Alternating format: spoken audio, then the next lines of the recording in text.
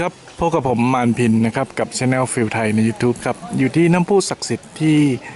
นอกเมืองอูบุตนะครับ ก็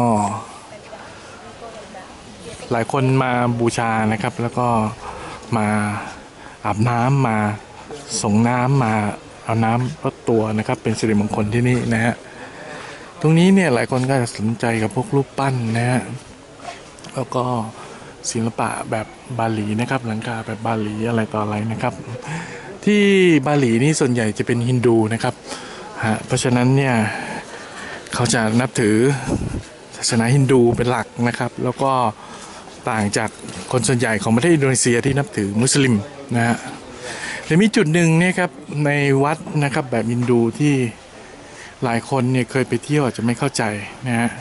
หรือผ่านไปเคยเห็นแล้วแต่ไม่แน่ใจ ลักษณะอันนี้เนี่ยครับ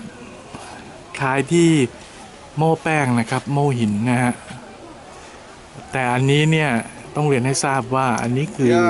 nyetak ซีวลึง ni tak นะ lama ฮะ kok. คือซีวลึงนะฮะ Cuma 3 menit aja nyetaknya ni. นั้นเวลาที่พูดถึงซีวลึงนะครับ ก็หมายถึงอันนี้นะครับ ที่เขมรก็เป็นลักษณะอย่างนี้นะครับ หลายที่ก็เป็นลักษณะอย่างนี้ อันนี้เป็นลักษณะซีวลึงที่อ่าในทางศาสนา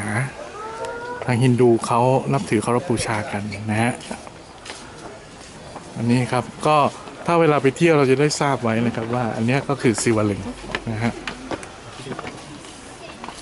ก็เก็บเรื่องราวมาฝากกันนะครับ แล้วพบกันใหม่ครับกับช anel ฟิลไทยใน YouTube ครับผม